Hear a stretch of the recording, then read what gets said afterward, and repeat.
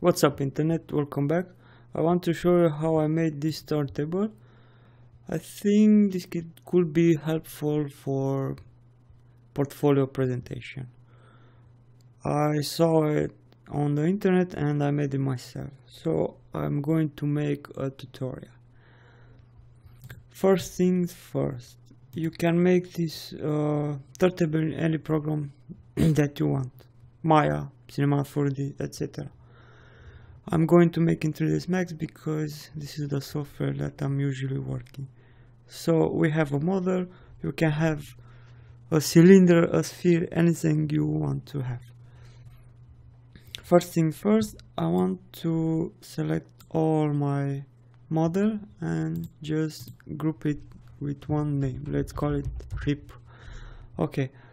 Um, second step is to let's position the pivot to the middle like not like this let's drag it.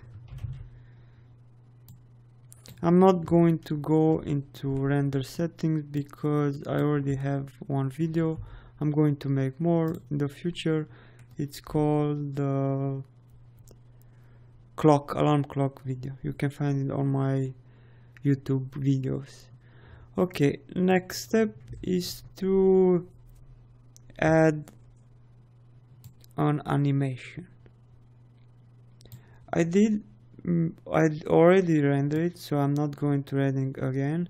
So as you can see I have made 250 um, frames. Also you can lower the frames and you can remapping the time in After Effects but anyway I did all this. So I'm going to check this set key. So as you can see we have a key over here. We going to need more time. So I'm going to right click on time configuration and let's set to 300 okay let's press ok you can see that we have 300 uh, right now. And we're going to press N for animation auto key. Then let's drag it to 250 okay. Now I'm going to rotate it 180 degree so I'm going to be no 360 degrees sorry. So I'm going to end in the same position as I started. And now if we can close this one because you already see that the keyframe is added if we drag this one we have our turntable. Okay. Next step in 3ds max if we we go to render setup. The thing that we need to add is mm, to change the single to range. So we're going to add from 0 frame to 250 and the next one is just to uh, set the file where we want to save it. And uh, we need to uncheck frame buffer and just press render. So we will have our render.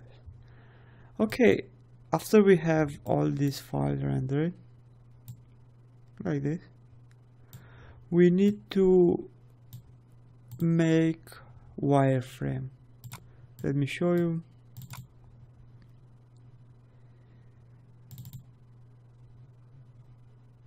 These are alpha if you want to use it but here is our first our first wireframe. It's the same thing. I mean you just we just need to add wire to our object. So how we can do that? First thing let's open this one because because of the turbo smooth I have too many wires. So I'm going to turbo smooth and just check isolate display like this perfect. Next up let's press M to go to material. Then let's select one V-Ray slot go into diffuse. Let's go to V-Ray and let's select our V-Ray edge. Where is our V-Ray edge text? Over here. So you can choose the color of the wireframe if you want to black doesn't matter. We can go back and choose another color for our material doesn't matter also. The next step is to go to render setup go to V-Ray global switch and let's check overlay material and we just need to drag it in this slot press instant. So any render that you apply now uh, any texture that you have on the ship or on your uh, object won't display because you'll overwrite it with this one. But before we render um, I forgot to we can delete or hide our hair because we do not need it in this case if you have another project that doesn't involve hair you do not need it to hide it or delete it like I'm doing now. Okay now if we press render you can see our wireframe. You can change also the pixel. So if we go to our edge text we can lower. So we do not have the, the those strong that strong. Okay and the same render. We already have our animation. We're going to keep the range uncheck frame buffer and just wait for render. Okay next step. We're going to go to after effects. And we have two choices. Right click import files or double left click like this. I'm already in my folder render so let's import our ship um, texture I'm going just to press 1 and press open. As you can see we have more uh, image in here. That's supposed to mean that all the image are imported in one single folder. So let's drag it to our new composition. And if we drag this one you can see that we have our ship let's press this bar okay. All good until now. Let's add our wire. So double click. Back to wire. Drag it down I rendered alpha because I was thinking to change the background but I let it like is this one? So you can change it if you need one another one. You can add alpha. Okay where is the okay. Open. And we have our wire. Let's make a test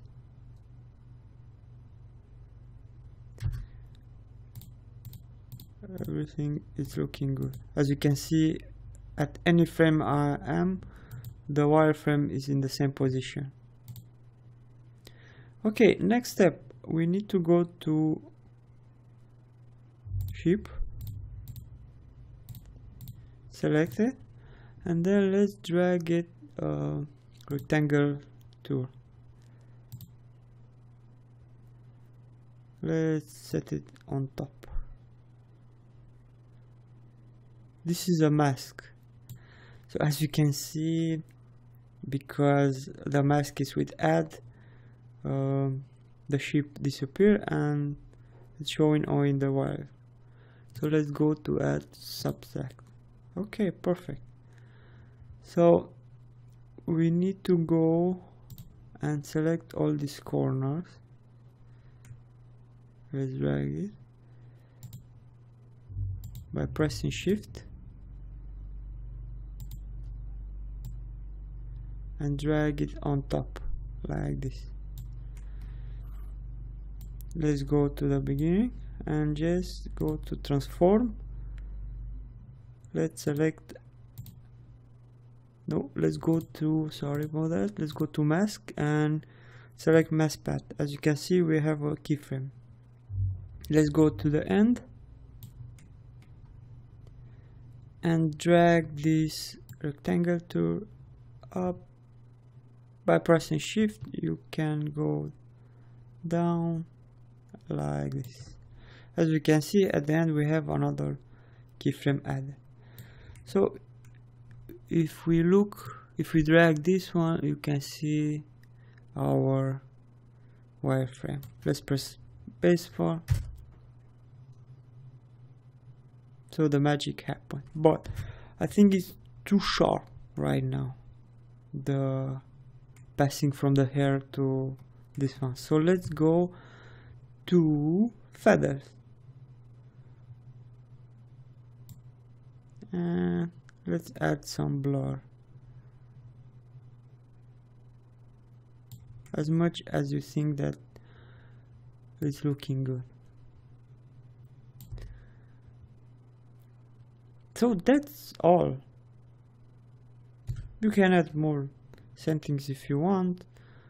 Uh, I do recommend you if you want to take a closer to render it to higher resolution. But that's all. You just need to render. So let's go to composition to render queue and select H. This is MP4 no audio and just output 2 that's it thank you for watching I hope you understand it.